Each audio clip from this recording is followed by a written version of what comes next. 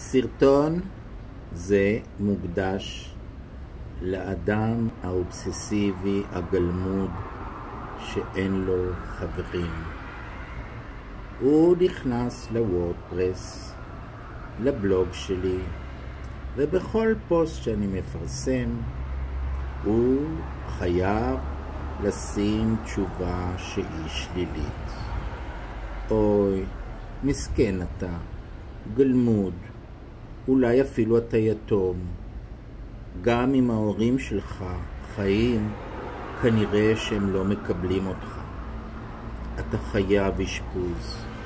אני מוכן לממן כל טיפול פסיכולוגי שיעשה לך טוב ויסיר את האובססיביות שלך.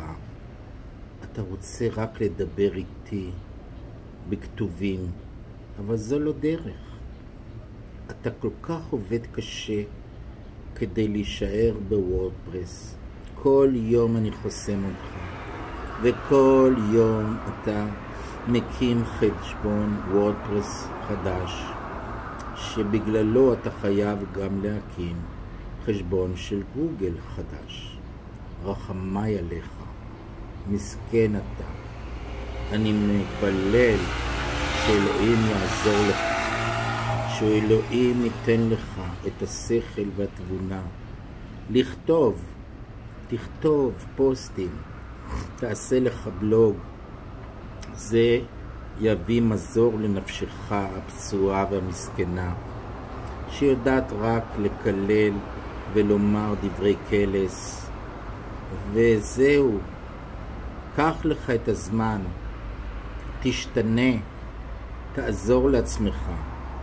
וכאמור, אני מוכן לשלם לך כל טיפול פסיכולוגי או פסיכיאטרי, העיקר שלא תהיה אובססיבי. העיקר שיחסי האנוש שלך ישתפרו ותוכל למצוא לך חברים. הרשת מלאה מלאה בחברים. ברשתות החברתיות כמו פייסבוק, כמו אינסטגרם, כמו לינקדין. אני נמצא בכולם, ויש לי למעלה משלושים אלף חברויות בכל הפלטפורמות. קח לך את הזמן, תפתח לך חשבונות בכולם ותעשה חיל. בהצלחה לך, מסכן שלי.